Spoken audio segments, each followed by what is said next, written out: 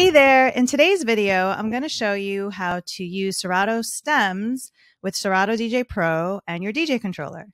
And if you stick around till the end of this video, I'll show you how you can download my mu- music resource guide, which lists some of my favorite websites that I download all my music from. I'm DJ Nicole Otero, professional DJ from NYC, and on this channel, I teach DJs how to get started on their DJ journey and also how to uplevel their DJ business. And if you like what you see, click subscribe.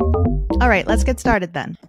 So the first thing you need to do is go to Serato.com and go to products and then download Serato DJ Pro, download.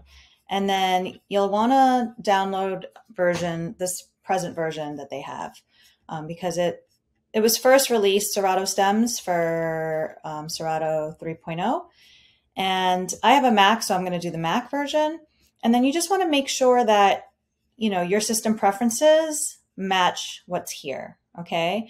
And for a Mac, you would just go to Apple up here about this Mac and um, it'll tell you, uh, you know, like I have, this is mine, right? Third M1, um, version 11.0, and it's Big Sur. And I could see here that Big Sur is um, supported. Now, before I even download this, though, um, I think it's important to save the current version of Serato that you do have just in case there are any glitches when you do download the new Serato DJ Pro. And, you know, that's always the fear of downloading a new version is that it's going to crash in the middle of a gig. So what I would do is I would go down here to your Finder, go to Applications, and find your current version of Serato DJ Pro. I already did this, but like this would just say Serato DJ Pro when you come in here, right? If you have it. Then you just have to click it and then name it the version that it is. So the current version that I had was 2.5.5 and then I just named it there. And then when I went to download this, you know, you just click download and then you follow the prompts, right? You just click download, follow the prompts. Then when it downloaded into my applications, I went back to applications and once it, the new version was there, then I named it the version that it is 3.0.12. So this way, should your new version, this one, crash in the middle of a gig, you can always revert to the old one. Okay, just to get it going. That's just a safety because I know everyone's, uh, including myself, um, is scared to download the new version. Alrighty, so now let's get into Serato um, stems. So the next step is make sure your DJ controller is connected to Serato DJ Pro. All right. Because it won't, you can't activate stems unless it's connected to your DJ controller. Then you'll come up here to um, settings and we're going to make sure here under DJ preferences that replace pad mode with stems is checked.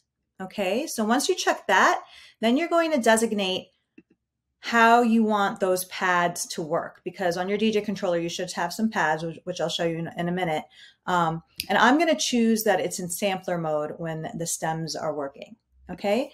So once you have that, you just come back here. Now we can get into picking out songs. So um, the first track I'm going to pick is Move Your Body by Marshall Jefferson, a house music classic. And, you know, I'm going to think about I want songs that are similar BPMs and ideally in the same key. All right, when you're using stems. But um, so I'm going to load this in. Now, it's going to take a second before the stems are read. Um, and then, so just give it that time. And the next one I'm going to use is um, House Music by Eddie Amador. And yeah, so should I press play, we'll hear.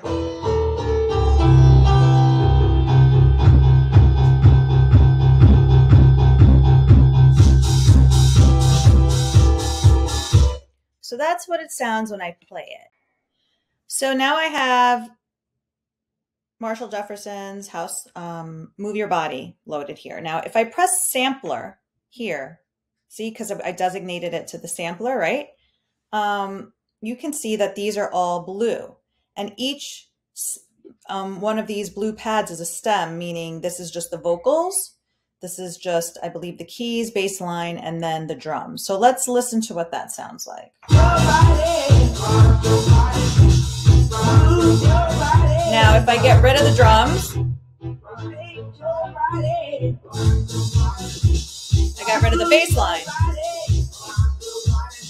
Got rid of the keys. Just bass line and vocal.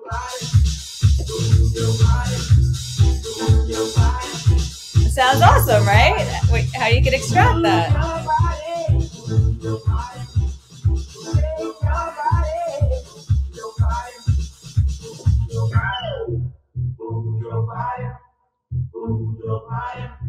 So that's how you get, you know, just to listen to your stems, you know, and then if you want to go back to like having cues on your pads, you just go back to HotCue. But just remember before you go back to HotCue to have all your parts there if you want to hear all the parts of the track, right? That's something to do.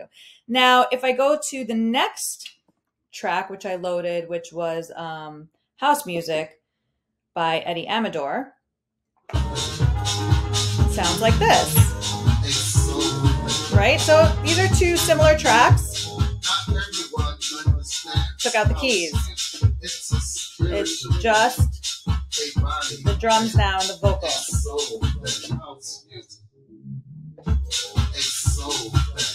Now I can try to press play to the other track.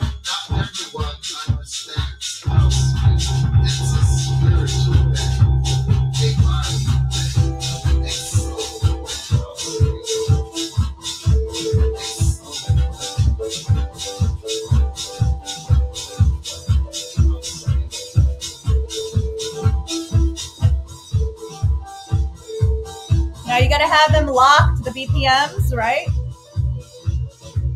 Just the vocal here.